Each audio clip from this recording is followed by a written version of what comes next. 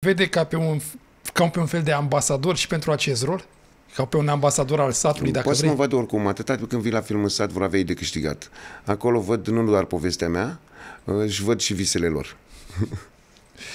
Chiar tu față de perioada copilăriei, ce nostalgie ai? Ce, la ce ți când, dacă te gândești la perioada aia, ce-ți vine în minte? Băi, de când eram eu acasă și aveam eu 13 ani atunci sau cât 12 ani sau cât aveai tu, lucruri de care ți-aduci Lipse- aminte cu drag cel mai foarte mult. multe lucruri care, de care ți-aduce aminte, sunt foarte multe lucruri pe care ai vrea să- sau s- emoții pe care ai vrea să le trăiești, dar din fericire sau din nefericire, pentru mine din fericire, tot ce a fost, ce ai trăit atunci te-a adus în aici. Pe mine m-a adus aici. Mă gândesc cu bucurie și cu nostalgie, dar mm, nu cu tristețe.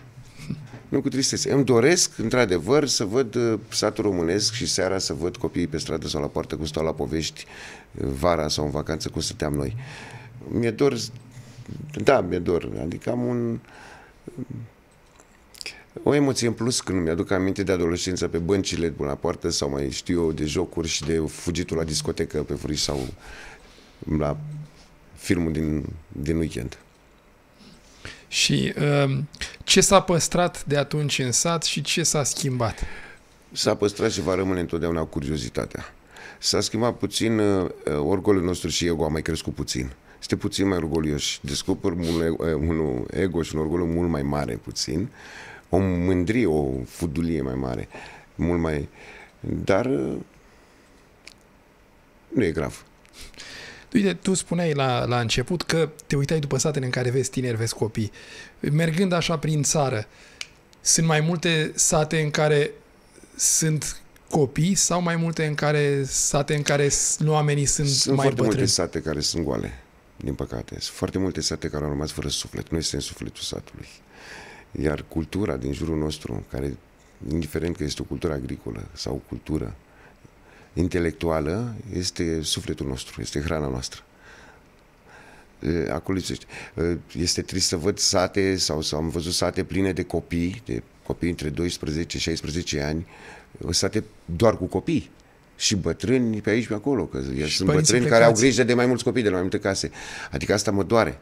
Acum nu știu dacă să f- îmi doresc, chiar e un um, target propus, să-i fac să nu plece, să, adu- să le aduc părinții acasă.